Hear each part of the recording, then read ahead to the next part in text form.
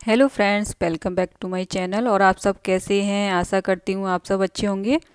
आज मैं आपके साथ शेयर करने वाली हूँ पिज़्ज़ा की रेसिपी ये पनीर मखनी पिज़्ज़ा बनाया है मैंने। होममेड पिज़्ज़ा देखो कितना टेस्टी और कितना डिलीशियस बनके रेडी हुआ है। आप देख सकते हैं। तो आप इस रेसिपी को ज़रूर ट्राई करें। बच्चों का ऑल टाइम फेवरेट होता है ये। तो रेसिपी को स्टार्ट करते हैं। तो ये मैंने एक बाउल लिया है, उसमें मैं वन कप मैदा डाल रही हूँ। Two cup, three cup, half cup. आप क्वांटिटी के हिसाब से ज़्यादा या कम कर सकते हैं। ये वन टीस्पून मैंने गार्लिक पाउडर डाला है। इसकी जगह आप फ्रेश गार्लिक भी चॉप करके डाल सकते हैं। वन टीस्पून सॉल्ट ये इटालियन सीजनिंग है। पिज़्ज़ा सीजनिंग भी बोलते हैं इसको। ये वन टीस्पून डाली है और टू टीस्पून मैंने ऑयल डाला है। और ये ईस्ट का पाउडर है, वो डाला है।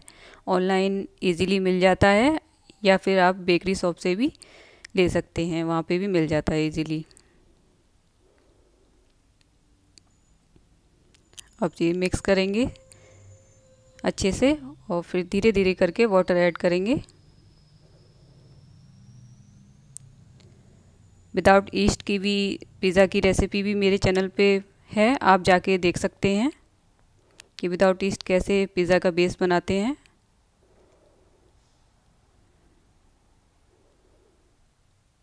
तो धीरे धीरे करके वाटर ऐड करेंगे। मीडियम टाइप का हमें आटा गूंद के रेडी करना है। डो को रेडी करना है। इस टाइप से आप देख सकते हैं, ना ज़्यादा टाइट हो, ना ज़्यादा लूज़ हो। और वन टीस्पून मैंने ऑयल डाला है और मसल के चिकना करके उसको हम वन आवर के लिए रेस्ट करने के लिए छोड़ देंगे। तब तक हम ग्रेवी की तैयारी कर लेते हैं बनाने की। तो यहाँ मैंने one teaspoon Kashmiri red chilli powder लिया है, जिससे इसमें कलर बहुत अच्छा आएगा ग्रेवी में। और वन टीस्पून सॉल्ट सॉल्ट का आप ध्यान रखें, क्योंकि हमने पिज़्ज़ा के बेस में भी सॉल्ट डाला है। वन टीस्पून धनिया पाउडर और टू टीस्पून मैंने कसूरी मेथी डाली है। इसमें फ्लेवर बहुत अच्छा लगता है कसूरी मेथी का। और ये मैदा है one teaspoon, one more teaspoon. तो टू टीस्पून मैंने मैदा डाली है।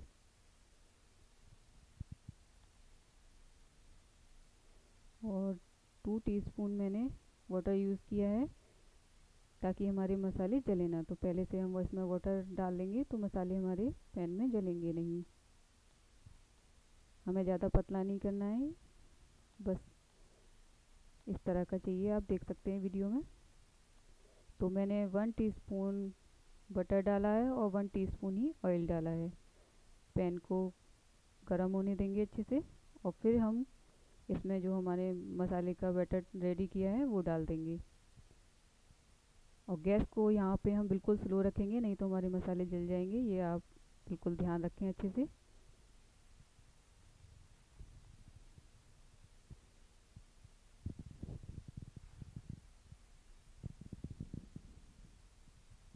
तो अच्छे से मिक्स करेंगे।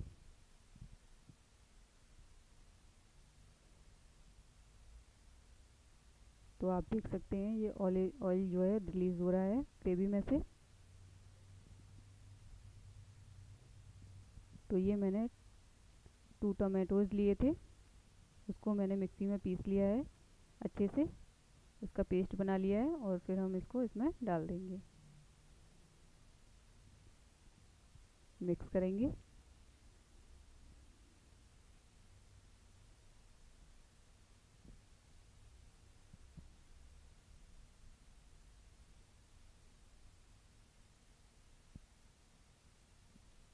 तो ये मैंने खोआ लिया है टू टीस्पून इसकी जगह आप फ्रेश क्रीम भी ले सकते हैं या घर पे मलाई होती है तो वो भी यूज़ कर सकते हैं।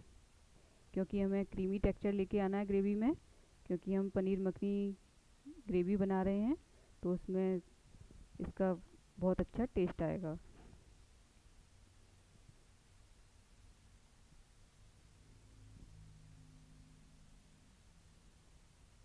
तो अभी तक आपने मेरे चैनल को सब्सक्राइब नहीं किया तो प्लीज़ सब्सक्राइब करें, लाइक करें मेरी रेसिपी को और ज़्यादा से ज़्यादा शेयर करें और बेल आइकॉन को ज़रूर प्रेस करें तो मेरे आप आने वाली वीडियो का नोटिफिकेशन मिलता रहेगा आपको।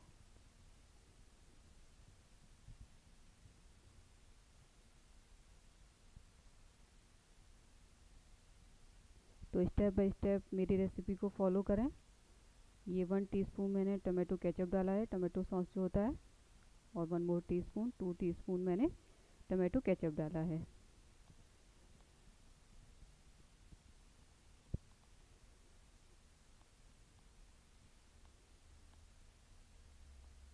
तो वीडियो को एंड तक देखें तो आपको अच्छी तरह से समझ में आएगा कि रेसिपी किस तरह से बनानी है स्टेप बाय स्टेप इस तरह से फॉलो करेंगे तो आपकी भी रेसिपी पिज़्ज़ा की बहुत अच्छी बन के रेडी होगी। तो इस तरह से हम चलाएँगे। जब तक ग्रेवी में से ऑयल रिलीज़ नहीं हो जाएगा, तब तक हम इसको पकाएँगे स्लो गैस पे। और यहाँ मैंने ग्रेट किया हुआ पनीर लिया है फोर टेबल स्पून इसको भी मिक्स कर लेंगे अच्छे से। तो पनीर मखनी पिज़्ज़ा बना रहे हैं तो ग्रेवी में अगर हम ऐसे डाल देंगे इसको पनीर को तो बहुत अच्छा टेस्ट आएगा ग्रेवी का।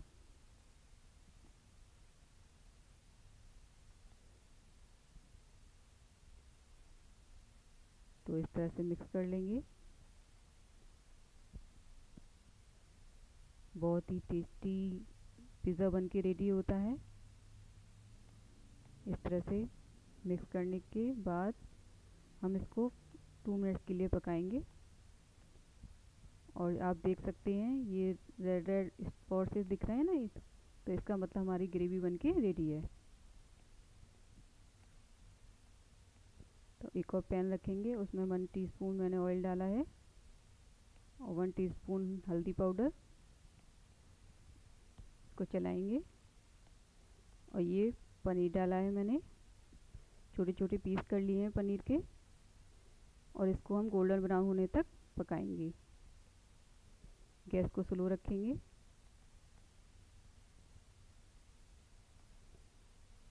और ये वन टीस्पून मैंने सॉल्ट डाला है। सॉल्ट का आप ध्यान रखें, क्योंकि सब जगह सॉल्ट ऐड हो रहा है तो ज़्यादा ना हो जाए, इसका आप ध्यान रखें अच्छे से। तो गोल्डन ब्राउन होने तक हम इसको पका लेंगे अच्छे से। पनीर की रेसिपी आप मेरे चैनल पे जाके देख सकते हैं लिंक मैं डिस्क्रिप्शन बॉक्स में डाल दूँगी। तो आप देख सकते हैं गोल्डन ब्राउन कलर आ गया है पनीर पे अच्छे से। इस तरह का हमें चाहिए। अब जो डो बना के हमने रेडी किया था, वो मैंने चेक कर रही हूँ अब। आप देख सकते हैं कितना फ्लफ़ी हो गया है ये डो। बहुत ही परफेक्ट जैसा हमें चाहिए, वैसा डो बन के रेडी है हमारा। अब हम पिज़्ज़ा बनाने शुरू करते हैं पिज़्ज़ा का बेस तो मैं एक लार्ज पिज़्ज़ा बना रही हूँ, एक स्मॉल साइज़ का पिज़्ज़ा बना रही हूँ।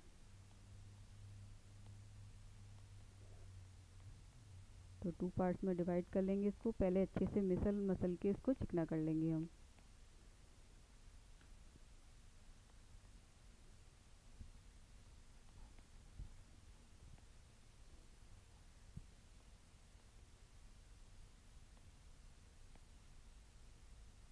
तो इस तरह से हम मस लेंगे अच्छे से। और फिर इसको हम टू पार्ट में डिवाइड कर लेंगे। तो एक स्मॉल और एक लार्ज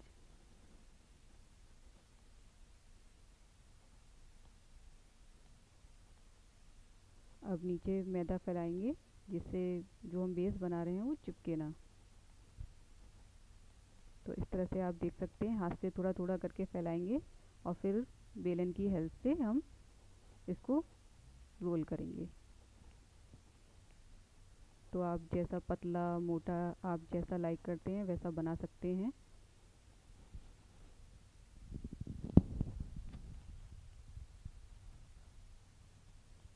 तो इस तरह से बेल के रेडी कर लेंगे हम।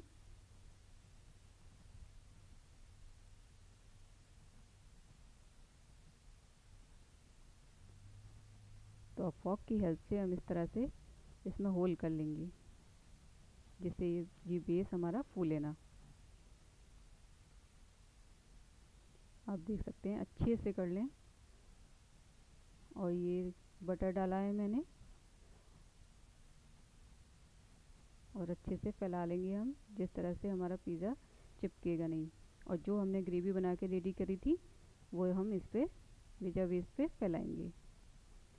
अगर आप फ़र्स्ट टाइम पिज़्ज़ा बना रहे हैं तो जो मैंने पैन रेडी किया है, उसमें ही आप ये बेस को फैलाएँ और और फिर इसमें ये टॉपिंग लगाएँ। सब चीज़ लगाएँ, क्योंकि इसको उठाने में थोड़ा दिक्कत आता है। तो आप उसी में बनाएँ बेस को और सारी टॉपिंग लगाएँ और उसी पर बेक करने के लिए छोड़ दें। और ये मैंने मोजरेला चीज़ लिया है।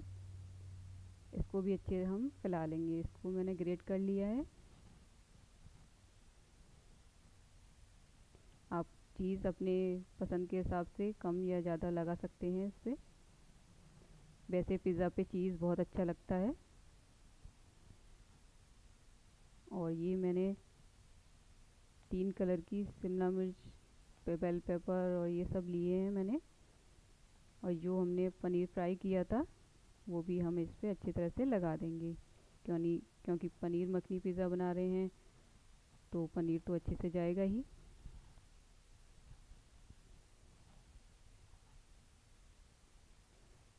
तो इस तरह से सब रेडी कर लेंगे और जो चीज़ थोड़ा सा और ऊपर से डाल देंगे। तो पैन को हमने गरम कर लिया है पहले और इस पर हम पिज़्ज़ा रख, डाल देंगे। इसको बिल्कुल स्लो गैस पे अच्छे से पकाएँगे। गैस को हम बिल्कुल स्लो रखेंगे।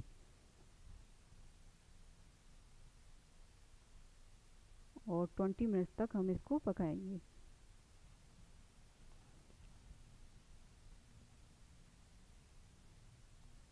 ट्वेंटी मिनट्स के बाद हम चेक करेंगे फिर इसको।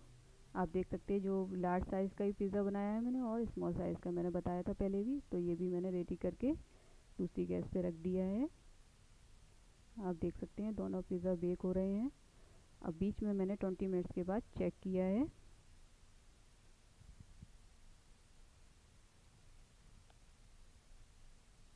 तो इस तरह से चेक करेंगे। अभी चीज़ भी अच्छे से मेल्ट नहीं हुआ है। और अभी पिज़्ज़ा भी, हमारा अभी अच्छे से बेक नहीं हुआ है। थोड़ा सा टाइम लगेगा तो टेन मिनट्स के लिए अब और ढक के इसको पकाएँगे। तो ये अब परफेक्ट पक के रेडी है। आप देख सकते हैं, दोनों पिज़्ज़ा बिल्कुल मस्त क्रिस्पी और यमी बन के रेडी हुए हैं। आप देख सकते हैं। तो मैं आपको कट करके दिखाती हूँ। ये स्मॉल साइज़ का और ये लार्ज साइज़ के। टू पिज़्ज़ा बन के रेडी हैं हमारे।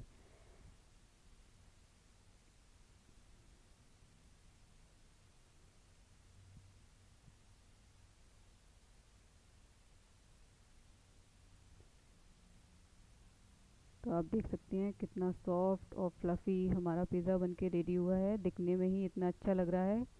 खाने में तो ये और भी टेस्टी है। तो आप रेसिपी को ज़रूर ट्राई करें। आपको बहुत पसंद आने वाली है ये रेसिपी किड्स की तो ऑल टाइम फेवरेट होती है ये। तो आप ज़रूर ट्राई करें। आप देख सकते हैं कितना फ्लफ़ी मार्केट से भी ज़्यादा अच्छा पिज़्ज़ा बन के रेडी हुआ है घर पे। तो आप ज़रूर ट्राई करें। मिलते हैं नई वीडियो में। तब तक के लिए